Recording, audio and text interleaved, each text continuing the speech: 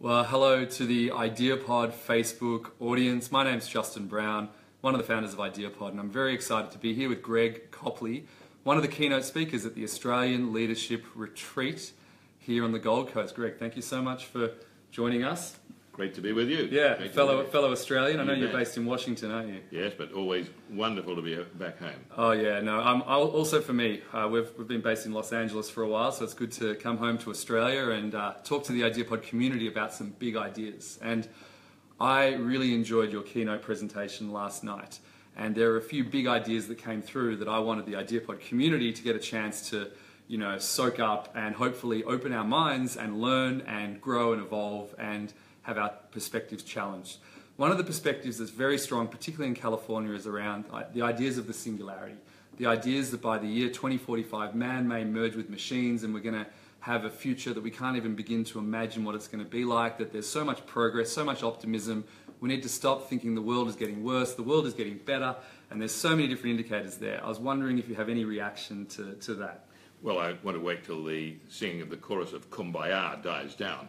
Uh, the, the reality is that we, we, we see the world divided into people who think about the future in, in either utopianist terms, such as that uh, La La Land view, or in Armageddonist terms, that the world is going to be destroyed. The reality is that it's somewhere in between, and the fact that we have a lot of new technology now uh, is just another version of history. This is nothing new. We've seen new technologies be greatly disruptive, positively and negatively, of, of uh, human society over, uh, over decades. The reality is that we're in a period now of uh, enormous change, and that enormous change is not going to be so much about technology.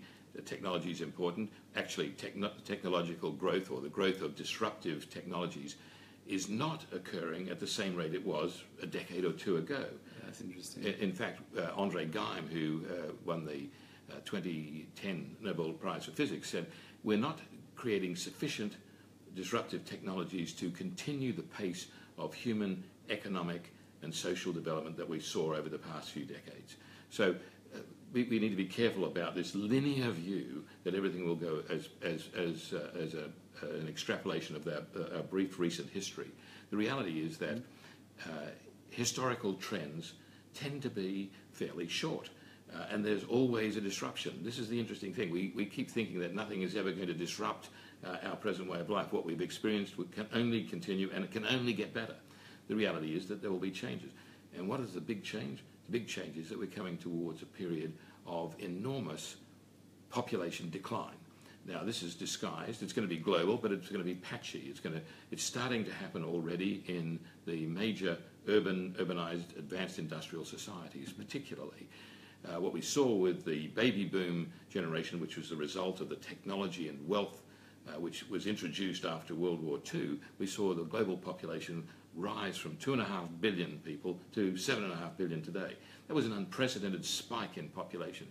Now, Right. the, that urban, urbanized population, as it became more urbanized, uh, then changed its reproductive patterns.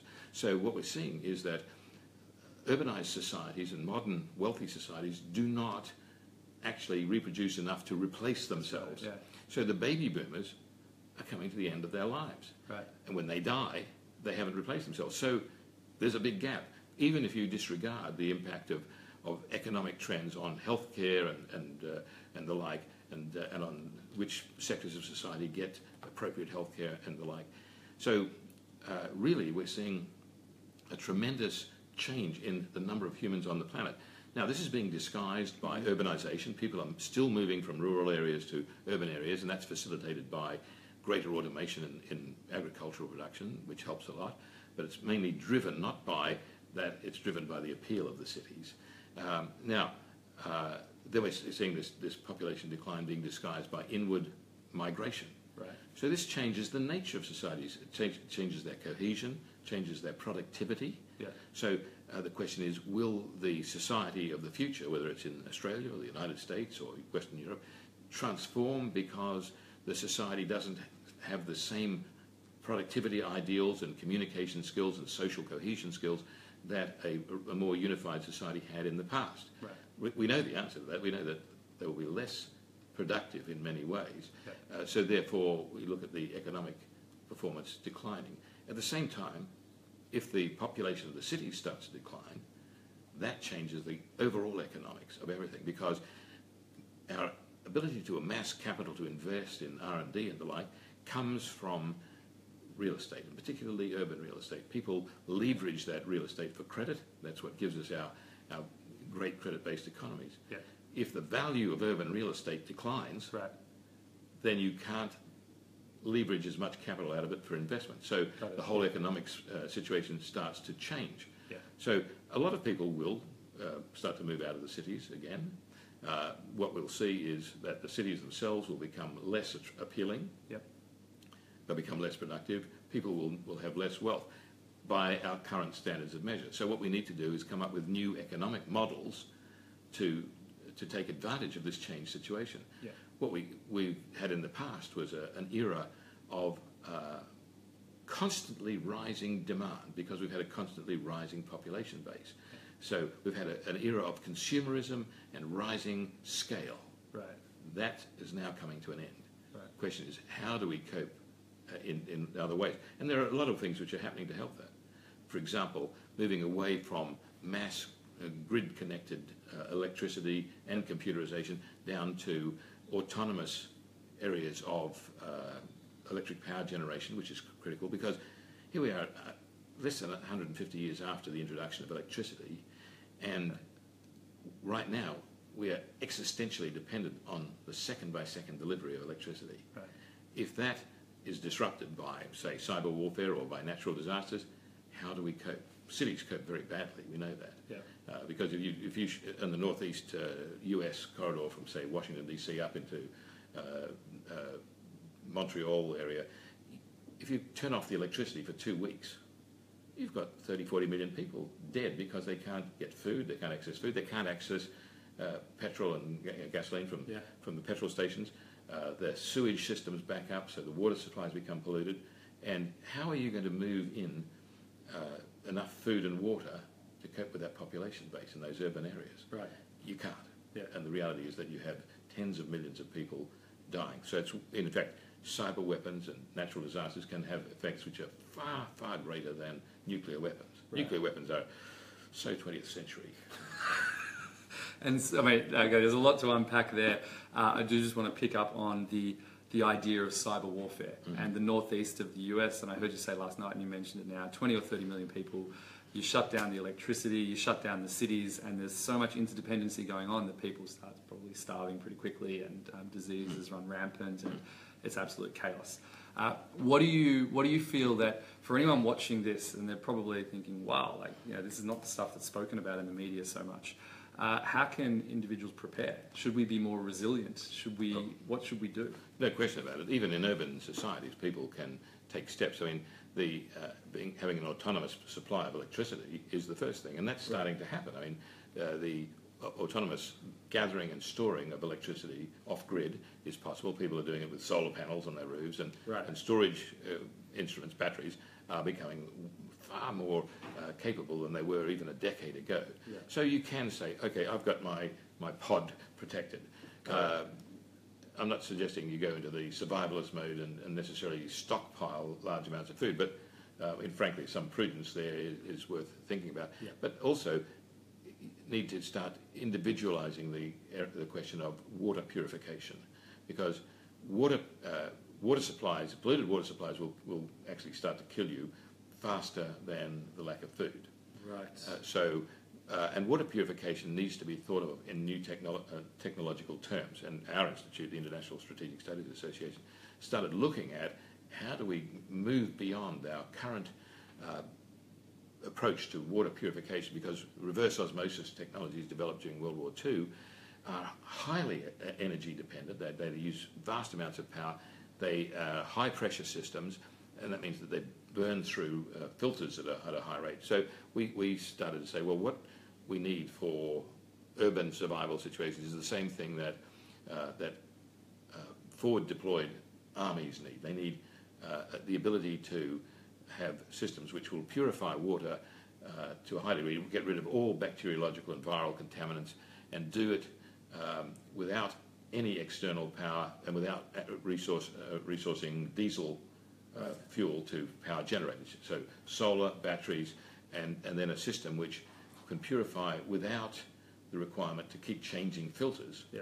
Because when the US Armed Forces went into Iraq, for example, uh, they started burning through uh, about $20,000 worth of filters uh, per month Yeah. just to, to, to filter the, the, the water.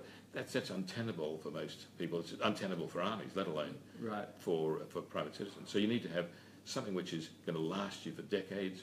It's, it's you're independently powering up, and you can say, well, look, and I've got my electricity, I've got my power, uh, and with that you can also have autonomous means of communication. You can have your own uh, communications devices, which will, will, will be able to survive when uh, internet's down or, or not regularly available, or when telephone systems are down and not regularly available. Right, right. So you need to have that uh, ability. Th- these are the technologies which will transform the way we live because we'll get off the, the grid. Yeah. And the grid is the, the greatest area of vulnerability to cyber warfare. Right. Uh, and the fact that we've got smart homes means that you can, that anyone with a cyber weapon can access the grid through any home Yeah. because it's now totally porous. Right. So the reality is that you have to remove yourself from the grid, or, and, and so societies will move to, to smaller power uh, dependencies. Yeah. Uh, and, and you know, there, are, there are all manners of, of, of uh, those And that's, options. that's really a national security thing anyway, to have your citizens that are resilient, that are decentralised, because then your, your nation is, is less vulnerable to a, an external threat. And to, to get back to the ideas of the singularity and the, the kind of uh, almost the techno optimism that I particularly see in the United States of America, where you and I spent so much time.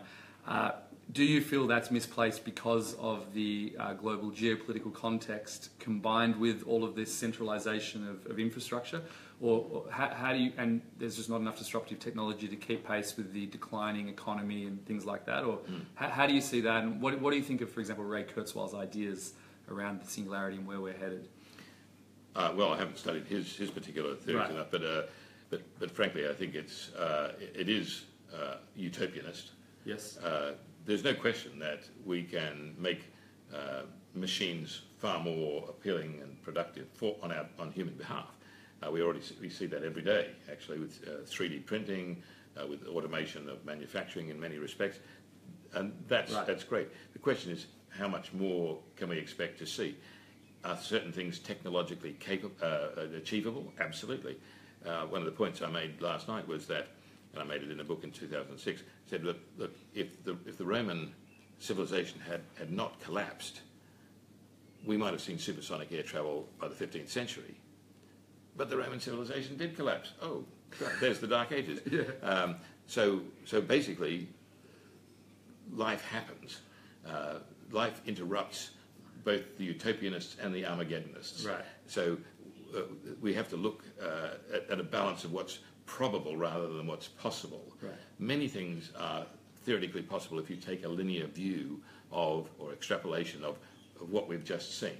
And, and what uh, people say, well, we've got the iPad, therefore we can do anything. Well, so what?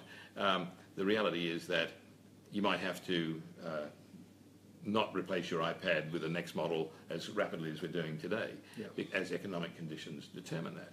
Uh, what we've seen uh, develop, particularly in the United States, and we're seeing it in Australia as well, is this view that there is a new form of materialism which is underway, uh, and it's not the materialism of ownership, it's the materialism of having.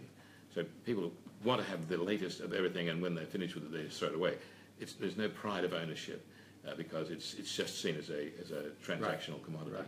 And now, just to just to finish up, I just want to repeat one line I heard in the in the speech last night, which is that whenever there's m- manure in your streets, there's probably a pony somewhere. So essentially, you are an optimist. You bet. How do you explain after this? I mean, incredible presentation. that my mind is quite definitely expanded with that whole framework that you've presented. Um, where are the ponies in your in your perspective of the world? Well, it, uh, when you see a, a break in a very rigid uh, social structure, Right. You see opportunity. Uh, what we've seen uh, is that we're, we're leaving a period which is a managed period. we're, we're seeing openings in that, we're seeing cracks in the system, we're seeing the opportunities for people to take initiatives, to take leadership, uh, to create new ways of, of uh, uh, making money, whatever, Yes. whatever money is in the future. It may be a different form than we're seeing today, and this is why we're seeing the rise some, of some gold in hand or, or, Yeah. or cryptocurrencies or something Absolutely. like that. Absolutely. There Yeah. are many options there. Yeah. And uh, so basically, uh, it's, a, it's a period where we, we can have flexibility, we can have leadership and entrepreneurship at a greater uh, rate than we've seen in the past few decades. Right. Okay. Well, for everyone out there, that, that is a positive message. There are ponies in your life. It's not all just uh, manure everywhere. Uh, thanks, Greg, for that amazing perspective. Please do hit the share button if you've uh, if you feel this is a message or these are messages that need to be shared and more people need to be aware of. Thanks so much for joining us. Thank you, Greg. Thank you. Really appreciate your time. Great, great to be with you. Okay. Bye.